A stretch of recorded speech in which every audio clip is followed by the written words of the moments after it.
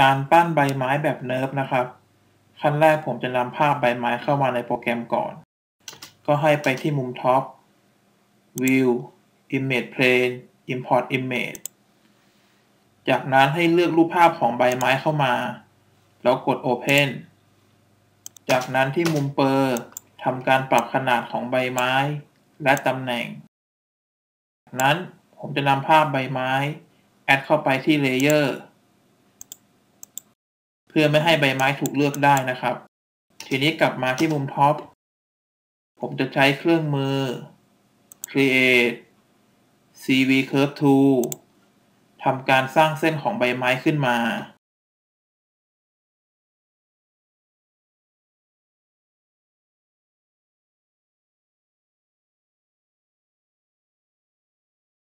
เมื่อได้เส้นของใบไม้แบบนี้นะครับ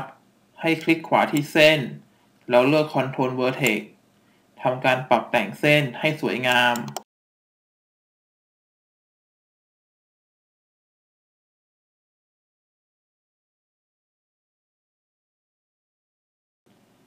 หลังจากสร้างเส้นเสร็จแล้ว ให้ทำการปิดเลเยอร์ของใบไม้ทิ้งไปนะครับ จะเห็นว่าเวลาผมสร้างเส้นของใบไม้เนี่ย ผมจะสร้างเพียงแค่ครึ่งเดียว เพราะว่าอีกครึ่งหนึ่งเนี่ย ผมจะใช้วิธีการ Copy มา วิธีการ Copy นะครับ ให้เราทำการเช็คเส้นก่อนดังนี้นะครับ บริเวณจุดเริ่มต้น และจุดปลายของเส้นนะครับ จะต้องวางอยู่บนเส้นกริดพอดี ในที่นี้นะครับ ถ้าเกิดของใครที่เส้น ยังไม่ได้วางอยู่บนเส้นกริดให้คลิกขวาที่เส้น แล้วเลือก Control Vertex ทำการเลือกจุดปลายนะครับผม แล้วให้กดปุ่ม X ค้างไว้บนคีย์บอร์ด จากนั้นให้ทำการขยับเครื่องมือ Move Tool ให้จุดมาวางอยู่บนเส้นกริดพอดีแบบนี้นะครับทำเช่นเดียวกับเส้นที่อยู่ด้านล่าง กดปุ่ม X ค้างไว้ แล้วเลื่อนจุดให้มาวางอยู่บนเส้นกริดพอดีแบบนี้ จากนั้นให้เช็ค เครื่องมือ Move Tool นะครับ เครื่องมือ Move Tool ต้องวางอยู่ตรงกลางของเส้นกริดพอดี ใครที่เครื่องมือ Move Tool ไม่ได้วางอยู่บนเส้นกริดแบบนี้นะครับ ให้กดปุ่ม D Dock ค้างไว้ แล้วกดปุ่ม X บนคีย์บอร์ดค้างไว้ จากนั้นให้ทำการขยับให้มาอยู่ตรงกลางกริดพอดีแบบนี้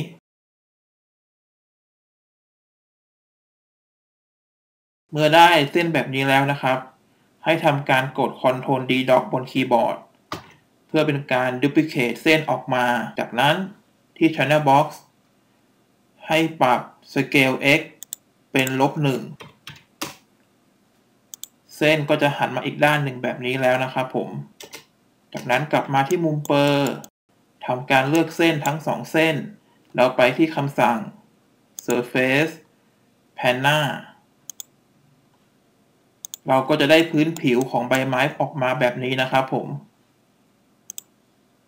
ทีนี้ ผมต้องการจะทำการปรับให้ใบไม้มีรายละเอียดเพิ่มมากขึ้น ก็ให้เลือกที่โมเดลของใบไม้ ไปที่เมนู Edit Nerve Rebuild Surface พอกดเสร็จปุ๊บนะครับ ให้ไปที่หน้าต่าง Channel Box ที่ Input Rebuild Surface ให้ทำการปรับ Span U และ Span V จะเป็นการเพิ่มความละเอียดของโมเดลนะครับผม แบบนี้ผมจะทำการปรับ Span U เป็น 5 Span V เป็น 4 นะครับผม เราก็จะได้รูปทรงของใบไม้เบื้องต้นแบบนี้แล้วนะครับผม ทีนี้ผมต้องการจะสร้างร่องให้กับใบไม้นะครับ ดังนั้นเนี่ยผมต้องทำการเพิ่มเส้นให้กับใบไม้ก่อน วิธีการเพิ่มเส้น ให้คลิกขวาที่โมเดล เลือกไอโซปาล์มจากนั้นให้คลิกลงไปบนเส้น แล้วทำการลากออกมาแบบนี้นะครับ ถ้าหากต้องการจะเพิ่มเส้น ให้กดปุ่มชิปค้างไว้ แล้วกดที่เส้น แล้วลากออกมาแบบนี้ เมื่อทำการเลือกเส้นที่จะเพิ่มได้แล้ว ให้ไปที่เมนู Edit Nerve Insert Isopalm เส้นก็จะโผล่ขึ้นมาบนโมเดลแล้วนะครับผม จากนั้น ให้ทำการคลิกขวาที่โมเดล เลือก Control Vertex และเลือกจุด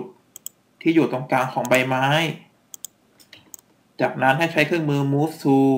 ทำการดึงจุดลงไปด้านล่างเล็กน้อย เพื่อสร้างเป็นร่องของใบไม้นะครับผม เราจะได้ร่องของใบไม้แบบนี้แล้วนะครับ จากนั้น เราก็สามารถทำให้ใบไม้เนี่ยมีความโค้งงอได้ โดยให้ไปที่มุมซ้าย คลิกขวา เลือก Control Vertex เราทำการปรับใบไม้ให้มีความโค้งมนนะครับผม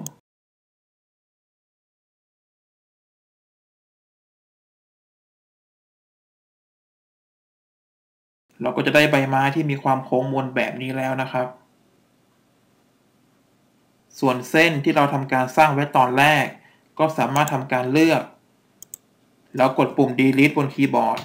เพื่อลบเส้นทิ้งไปได้เลยนะครับผม ซึ่งโมเดลของใบไม้แบบนี้เนี่ย เราสามารถนำไปทำเป็นดอกไม้ หรือว่าใบไม้ของต้นไม้ได้นะครับ อย่างเช่นตัวอย่างตรงนี้ อันนี้คือโมเดลของดอกไม้ที่ผมทำการปั้นนะครับ ผมก็นำใบไม้ที่ได้ขึ้นรูปทรงเนี่ย มาทำการจัดวางให้เป็นลายของดอกไม้แบบนี้นะครับผม ก็ลองเอาเทคนิคที่ผมสอนไปสร้างเป็นดอกไม้ หรือว่าต้นไม้ดูนะครับ